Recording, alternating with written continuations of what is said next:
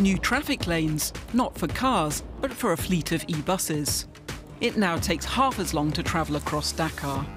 With tickets costing between 60 and 80 euro cents, passengers welcome the new service.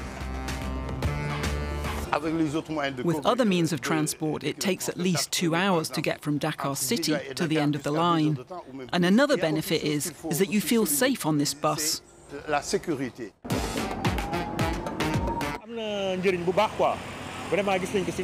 The new service is really useful because it cuts the journey times.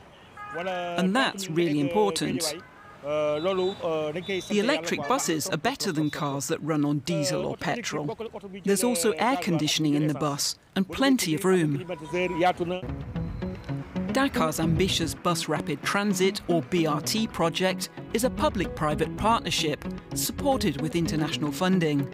After five years of construction, the first e-buses were launched in 2024. The fleet now numbers 121 and connects Dakar's 14 communes. It's already had a positive effect. Now many people are leaving their cars behind to take the bus and avoid the traffic jams. This is a step towards a better infrastructure in our country. The city is now also more bike-friendly. A wide cycle path has been installed that runs parallel to the new bus lane, in a move to motivate more people to switch from cars. Ibrahima Gouet has been cycling in Dakar for a long time, mainly for work, and it's not without danger. You have to weave your way between the cars, which is really dangerous for cyclists. In Senegal, people drive very recklessly. That's why I'm really happy about the new cycle paths. It's much safer and easier to avoid accidents. Dakar's e-bus infrastructure is unique on the African continent. Other major cities such as Accra in Ghana and Nairobi in Kenya are keen to follow suit. There are just too many cars on the streets of Africa's big cities. Dakar's fleet of e-buses is operated by the Senegalese company Dakar Mobilité. The state has a 30% stake in the company.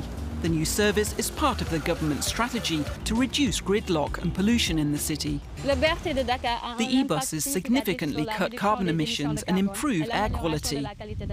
According to studies, the e-buses enable CO2 savings of up to 59 million tonnes per year.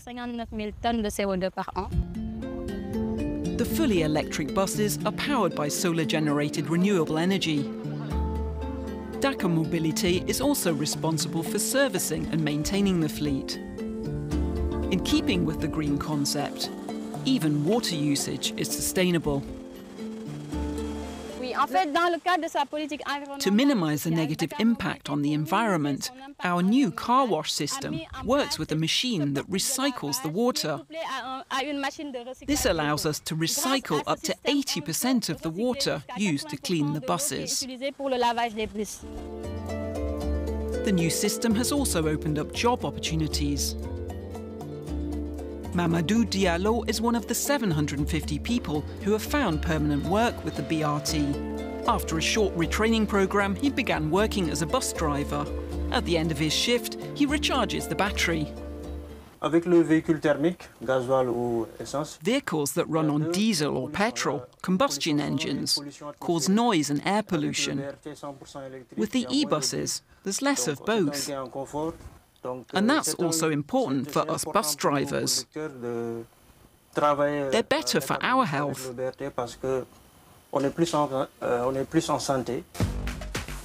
The new bus system is a huge improvement for the city.